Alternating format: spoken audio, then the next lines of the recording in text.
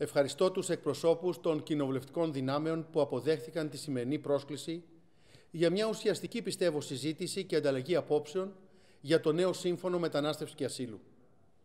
Το μεταναστευτικό παραμένει διαρκώς ένα επίκαιρο θέμα, το οποίο θα μας επηρεάσει και τις επόμενες δεκαετίες. Κατά συνέπεια, η διαμόρφωση ενός νέου ευρωπαϊκού πλαισίου είναι ιδιαίτερα σημαντικό και κρίσιμο ζήτημα, παρότι δεν αντιμετωπίζουμε τις προκλήσεις των προηγούμενων ετών. Έχουμε ανακτήσει τον έλεγχο.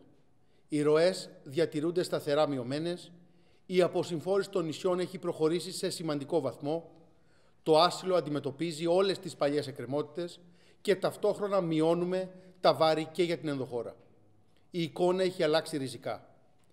Οι νέες προκλήσεις που μας περιμένουν όμως έχουν ένα κοινό παρονομαστή, την ανάγκη ενίσχυσης του ευρωπαϊκού πλαισίου μετανάστευσης και ασύλου, ώστε να μην αντιμετωπίζουμε τα κράτη πρώτης υποδοχής δυσανάλογο βάρος της μεταναστευτικής κρίσης.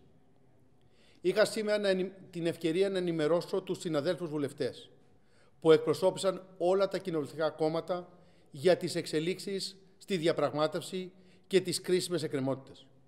Σε συνέχεια και της πρόσφατης κοινή συνεδρίασης των αρμοδίων επιτροπών της Βουλής, παρουσία του Αντιπροέδρου της Ευρωπαϊκής Επιτροπής, του κ. Σχοινά.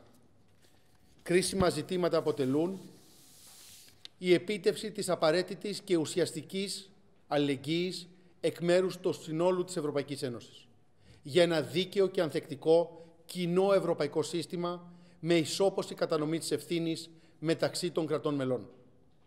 Η σημασία της αποτελεσματικής προστασίας των συνόρων μας, που αποτελούν ταυτόχρονα και εξωτερικά σύνορα της Ευρωπαϊκής Ένωσης.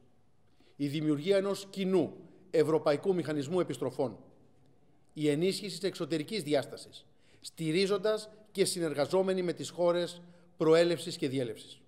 Ειδικά η ανάγκη πλήρους εφαρμογής της κοινή δήλωσης Ευρωπαϊκής Ένωσης Τουρκίας του 2016 στο σύνολό της και χωρίς διακρίσεις. Ενημέρωσα επίσης για την στενή συνεργασία των χωρών του Νότου, τις χώρες των MED5, που πρόσφατα στη διάσκεψη των Αθηνών θεμελιώσαμε και ισχυροποίησαμε τις κοινέ μας θέσεις. Οι χώρες πρώτης υποδοχής, η Ελλάδα, τα πέντε ακριτικά νησιά του Αιγαίου δεν μπορούν να συνεχίσουν να σηκώνουν μόνα τους όλο το βάρος του μεταναστευτικού. Σε αυτές τις θέσεις επιζητούμε την εθνική συνεννόηση και τη μέγιστη δυνατή συνένεση. Σε μια κρίσιμη στιγμή για το αύριο του τόπου, αλλά και του ευρωπαϊκού οικοδομήματος. Σας ευχαριστώ.